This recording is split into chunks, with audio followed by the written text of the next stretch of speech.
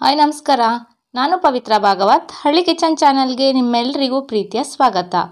ಇವತ್ತಿನ ವಿಡಿಯೋದಲ್ಲಿ ನಾನೊಂದು ಪಂಚರತ್ನ ಅಂದ್ಕೊಂಡು ಒಂದು ಸ್ವೀಟನ್ನು ಮಾಡೋದನ್ನು ತೋರಿಸ್ತಾ ಇದ್ದೆ.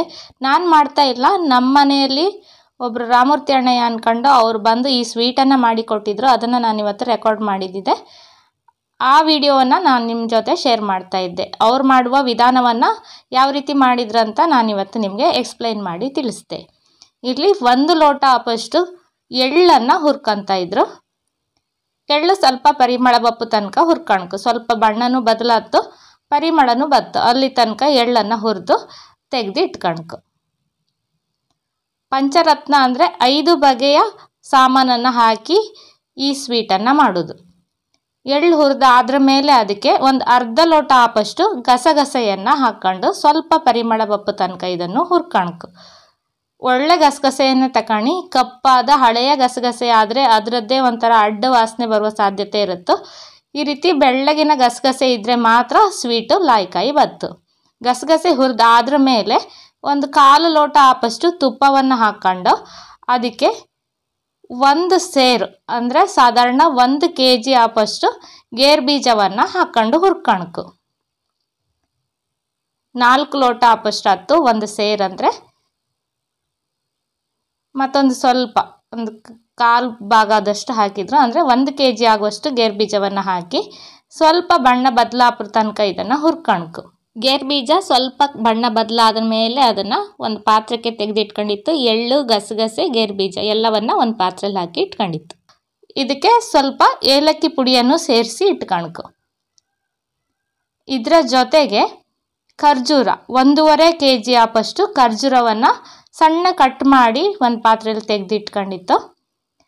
ಈಗ ಸಕ್ಕರೆ ಮತ್ತು ಬೆಲ್ಲವನ್ನು ಪಾಕವನ್ನು ಮಾಡ್ಕೊಳ್ಕು ಒಂದು ಕೆ ಜಿ ಸಕ್ಕರೆ, ಒಂದು ಕೆ ಜಿ ಬೆಲ್ಲವನ್ನು ಹಾಕಿ ಪಾಕವನ್ನು ತಯಾರು ಮಾಡ್ತಾಯಿದ್ರು ಬೆಲ್ಲ, ಸಕ್ಕರೆ ಎಲ್ಲ ಸರಿ ಕರ್ಗಕ್ಕು ಸರಿ ಕರ್ಗಿ ನೊರೆ ನೊರೆ ಬರ್ತಾ ಇತ್ತು ಕಣಿ. ಪಾಕ ಎಂತ ಬರ್ಕಂತಿಲ್ಲ.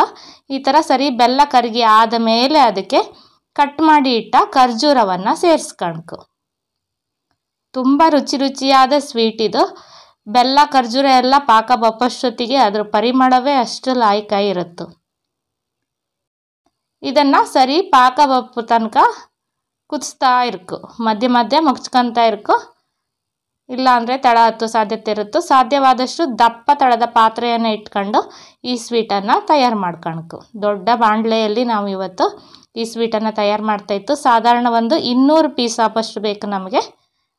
ಅದಕ್ಕೆ ಒಂದು ದೊಡ್ಡ ಪಾತ್ರದಲ್ಲಿ ಮಾಡ್ತಾಯಿತ್ತು ಅದನ್ನು ಸ್ವಲ್ಪ ನೀರಿಗೆ ಹಾಕಿ ಕಂಡವಾಗ ಉಂಡೆ ಕಟ್ಟಕ್ಕೆ ಬರ್ತಾ ಇತ್ತಂತ ಅನಿಸಿದ ಮೇಲೆ ಗಸಗಸೆ, ಗೇರು ಬೀಜ, ಎಳ್ಳನ್ನು ಹುರಿದು ತೆಗೆದಿಟ್ಟಿತ್ತಲ್ಲ, ಅದನ್ನು ಪಾಕದ ಜೊತೆಗೆ ಸೇರಿಸಿ ಮತ್ತೆ ಪುನಃ ಪಾಕವನ್ನು ಮಾಡ್ಕೊ. ಗೇರು ಬೀಜ ಎಲ್ಲ ಹಾಕಿದವಾಗ ಅದರಲ್ಲಿ ತುಪ್ಪ ಎಲ್ಲ ಇರುತ್ತಲ್ಲ, ತುಪ್ಪ ಬೀಳ್ತಾ ಇದ್ದಂಗೆ ಸ್ವಲ್ಪ ಪಾಕ ಕಡಿಮೆ ಆಯ್ತು ಮತ್ತೆ ಒಂದು ಹತ್ತು ಹದಿನೈದು ನಿಮಿಷದ ತನಕ ಸರಿ ಪಾಕ ಬಪ್ಪು ತನಕ ಮಾಡ್ಕೊ. ಅದನ್ನು ಸಹ ಮತ್ತೆ ಪುನಃ ನೀರಿಗೆ ಹಾಕಿ ಕಂಡವಾಗ ಉಂಡೆ ಕಟ್ಟಕ್ಕೆ ಬರುವ ಹದದಲ್ಲಿ ಪಾಕವನ್ನು ತಯಾರು ಮಾಡ್ಕೊ. ಇಳ್ಕಣಿ ಇಷ್ಟು. ತುಂಬ ಗಟ್ಟಿ ಆದರೆ ಕಟ್ ಮಾಡೋದು, ಪೀಸ್ ಮಾಡೋದು ಕಷ್ಟ ಆಯ್ತು ಹಾಗಾಗಿ ಸ್ವಲ್ಪ ಉಂಡೆ ಕಟ್ಟಕ್ಕೆ ಬತ್ತಾ ಇದ್ದ ಹಾಗೆ ಅದನ್ನು ಬೆಂಕಿಯನ್ನು ಆಫ್ ಮಾಡ್ಕೊಳ್ಕು ಬೇರೆ ಕಡೆಗೆ ತೆಗೆದಿಟ್ಕೊಂಡು ಅದಕ್ಕೆ ಈಗ ಒಂದು ಕೆ ಜಿ ಆಪಷ್ಟು ಡೆಸಿಕೇಟೆಡ್ ಕೊಕೊನಟ್ ಪೌಡ್ರನ್ನು ಸೇರಿಸ್ಕೊಂಡಿತ್ತು. ಕೊಬ್ಬರಿ ಪುಡಿ ಬತ್ತಲ್ಲ ಅಂಗಡಿಯಲ್ಲಿ ಕೇಳಿದ್ರೆ ಸಿಕ್ಕತ್ತು.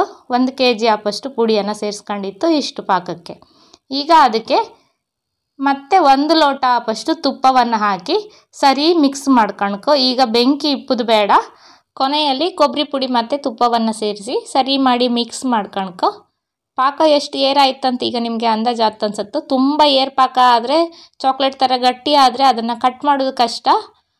ಒಂದು ಹದದಲ್ಲಿ ಪಾಕ ನಾನು ತೋರಿಸಿದ್ನಲ್ಲ, ಅದೇ ಹದದಲ್ಲಿ ಸ್ವಲ್ಪ ಮೆತ್ತ ಮೆತ್ತಗೆ ಇರ್ಕ, ಉಂಡೆ ಕಟ್ಟಕ್ಕೆ ಬರ್ಕ. ಆ ಹದದಲ್ಲಿ ಪಾಕವನ್ನು ತಯಾರು ಮಾಡ್ಕೊಂಡ್ರೆ ಸರಿಯಾದ, ರುಚಿಯಾದ ಪಂಚರತ್ನ ಸ್ವೀಟು ತಯಾರಾಯ್ತು ಈ ಥರ ಎಲ್ಲವನ್ನು ಮಿಕ್ಸ್ ಮಾಡ್ಕೊಂಡು ಒಂದು ತುಪ್ಪ ಸವರಿದ ಬಟ್ಲಿಗೆ ಅಥವಾ ಬಟರ್ ಪೇಪರನ್ನು ಹಾಸಿ ಅದರ ಮೇಲ್ಗಡೆ ಈ ರೀತಿ ರೆಡಿಯಾದ ಪಾಕವನ್ನು ಹಾಕಿ ಸರಿ ಮಾಡಿ ಹರಡಿ, ಸ್ವಲ್ಪ ತಣ್ಣಗಾದ ನಂತರ ಬೇಕಾದ ಆಕೃತಿಗೆ ಕಟ್ ಮಾಡಿದರೆ ರುಚಿ ರುಚಿಯಾದ ಪಂಚರತ್ನ ಸ್ವೀಟು ತಯಾರಾಗ್ತು ಇವತ್ತಿನ ಈ ವಿಡಿಯೋ ನಿಮಗೆಲ್ಲ ಖುಷಿ ಆಯ್ತು ಅಂತ ಎಣಿಸ್ಕೊಂತೆ, ಖುಷಿ ಆದರೆ ಲೈಕ್ ಮಾಡಿ ಶೇರ್ ಮಾಡಿ ಅನಿಸಿಕೆನ ಕಮೆಂಟಲ್ಲಿ ತಿಳಿಸಿ. ಚಾನಲ್ ಇನ್ನೂ ಸಬ್ಸ್ಕ್ರೈಬ್ ಮಾಡಲಿಲ್ಲ ಅಂದರೆ ಪ್ಲೀಸ್ ಸಬ್ಸ್ಕ್ರೈಬ್ ಮಾಡ್ಕೊಳ್ಳಿ ಯಾವ ರೀತಿ ಕಟ್ ಮಾಡಿದ್ರು ಕಾಣಿ, ರುಚಿ ರುಚಿಯಾದ ಪಂಚರತ್ನ ಸ್ವೀಟು ತಯಾರಾಯಿತು.